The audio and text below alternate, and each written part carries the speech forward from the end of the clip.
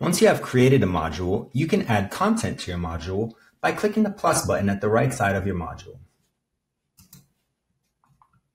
Instead of an assignment, we want to add a page, so click on the drop-down arrow and select Page from the list. Now click New Page to add a new page to your module. Give your page a name by clicking in the Page Name field and typing out a name.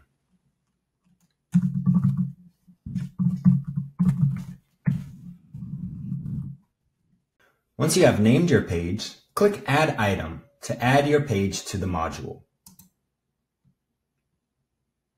Click the title of the page to open it. Right now, our page is blank, so let's edit it. Click the Edit button at the top right of the screen to edit the page.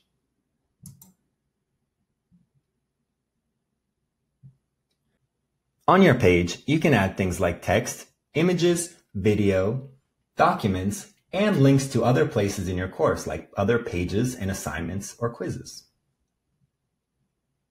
Let's add some text. Click in the box to add text to your page.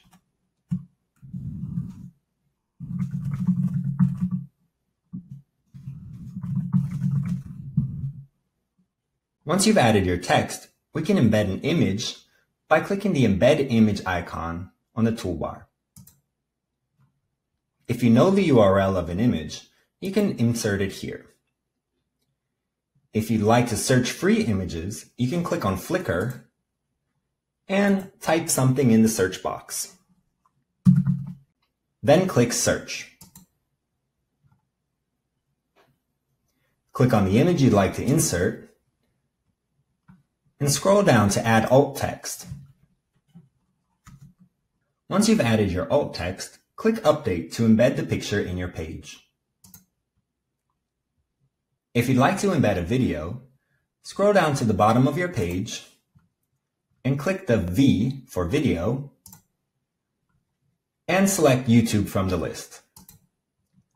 This will allow you to search YouTube directly from within your page in Canvas. Type in the keyword and hit enter to do a search.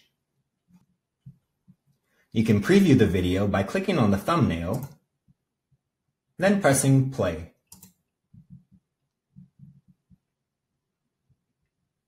If you like the video, you can click embed. If you'd like to look for another video, click search results to return to the search results. Once you've found a video, click embed.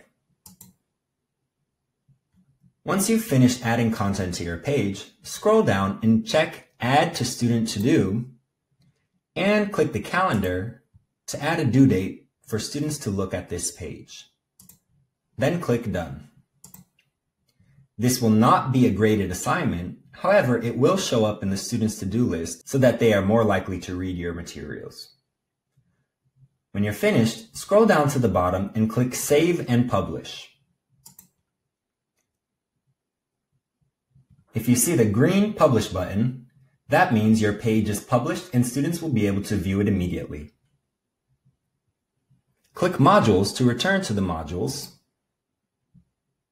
and you will now see that you have a published page inside your module.